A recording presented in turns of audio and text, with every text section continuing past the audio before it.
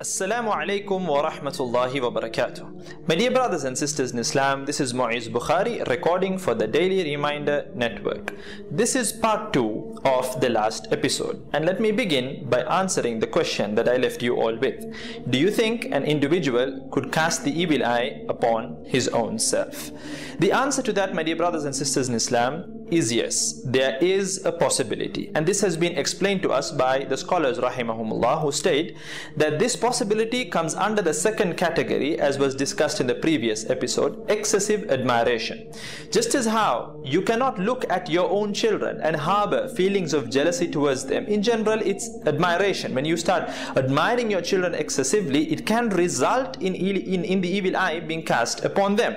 Likewise, when an individual goes in front of the mirror and looks at his or her reflection, it's impossible for that individual to harbor feelings of jealousy towards himself. So basically, it is excessive admiration when an individual goes in front of the mirror and starts admiring himself or herself, it can result in the evil eye being cast upon that individual by that individual himself. May Allah subhanahu wa ta'ala save us all. Let me give you a real life incident that took place. There was a caliph, a young caliph by the name Sulaiman ibn Abdul Malik. He was a young, handsome caliph.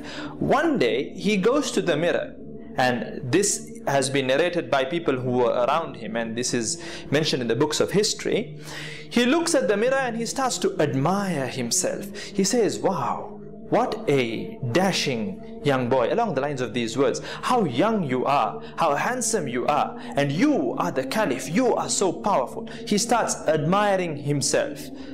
The people who were around him state that it was not even a month. A month did not pass by after him uttering such statements that he suddenly and very mysteriously passed away. Allahu Akbar. There's another incident. It doesn't talk about uh, self-admiration, but then again about excessive admiration in terms of children. Urwa ibn Zubayr, Urwa ibn Zubayr, rahimahullah, once he dresses up his child, his young boy, he dresses him up very well, and he takes him the young child, he takes him to the house of the caliph at that time, who was Walid ibn Abdul Malik. He takes him to his house, and the minute the caliph saw the boy, he admires the boy and he says, Beautiful clothes you're wearing, you have you know, dressed the child so beautifully. You're wearing such beautiful clothes. And afterwards, a few minutes pass by and they all go to the stables to have a look at the horses. The child was by one particular horse. When suddenly, for no reason at all, there was this horse which reared up all of a sudden, kicking the boy, resulting in that boy's neck snapping into two and the boy falling dead on the spot. Allahu Akbar.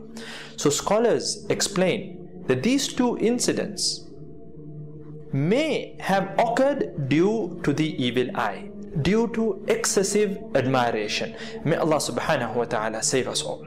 From this we understand that we should not go in front of the mirror and start admiring ourselves excessively. The sisters should not go in front of the mirror, make dark faces and think, look at how hot I am, or look at how sexy I am. Nor should we males go in front of the mirror, start flexing our muscles, and think, wow, I'm just so sizzling hot. Because number one, this results in a superiority complex, which is not good. And number two, it may result in the possibility of the evil eye being cast by ourselves upon ourselves. May Allah subhanahu wa ta'ala protect us all. Ameen. Now let me mention an action item or two in the form of a dua that can be read to protect ourselves from the evil eye of others. Number one. أعوذ بكلمات الله التامات من شر ما خلق. Let me repeat. أعوذ بكلمات الله التامات من شر ما خلق. As for the meaning, I seek refuge in the perfect words of Allah subhanahu wa ta'ala from the evil of that which He has created. Number two. أعوذ بكلمات الله التامة من غضبه وعقابه ومن شر عباده ومن همزات الشياطين وأن يحضرون Let me repeat. أعوذ بكلمات الله التامة من غضبه وعقابه ومن شر عباده ومن همزات الشياطين وأن يحضرون. As for the meaning, I seek refuge in the perfect words of Allah subhanahu wa ta'ala I seek refuge in the perfect words of Allah subhanahu wa ta'ala from his punishment and his anger. Min, min ghadabihi. From his anger and punishment. And from the evil of his slaves, from the evil promptings of the devils, and from their presence. May Allah subhanahu wa ta'ala protect us all from all kinds of evil. Ameen. Please don't forget to share this video around as much as possible to inspire an amazing Sunnah revival. I look forward to seeing you all the next week inshaAllah ta'ala. Jazakumullah khair. Wassalamu alaikum wa rahmatullahi wa barakatuh.